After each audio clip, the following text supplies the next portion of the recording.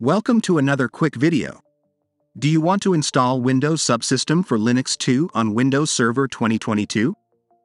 The Windows Subsystem for Linux lets developers run a GNU Linux environment, including most command line tools, utilities, and applications, directly on Windows, unmodified, without the overhead of a traditional virtual machine or dual boot setup.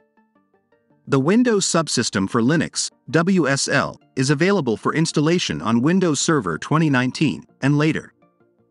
Let's see how to install WSL2 wisely with a single command. Open PowerShell on your Windows server.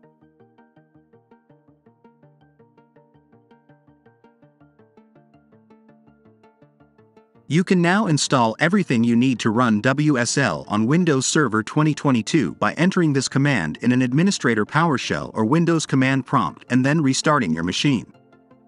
This may take a while. Please have patience during this.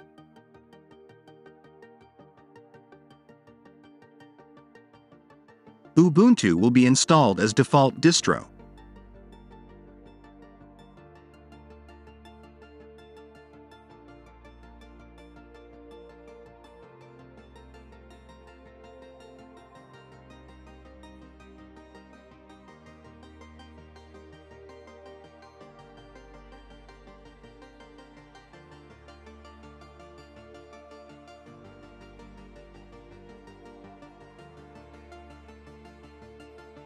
Once done, you will need to reboot your server.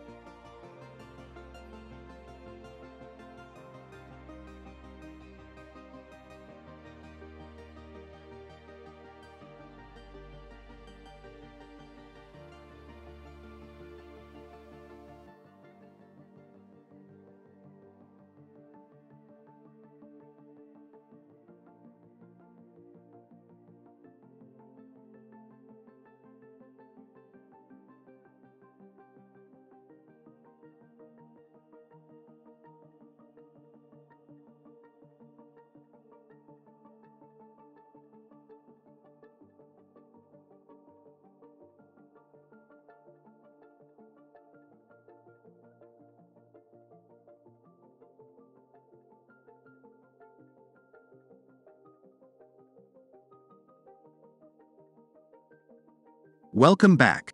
Ubuntu installation on WSL will pop up automatically.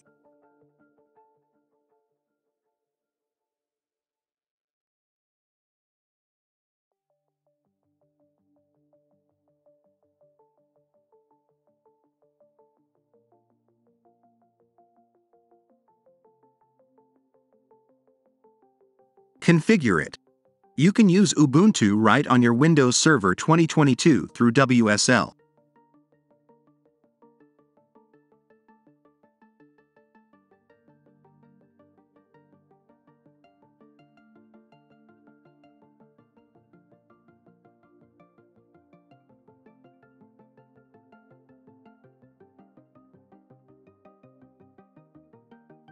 You have successfully installed Windows Subsystem for Linux on your Windows server.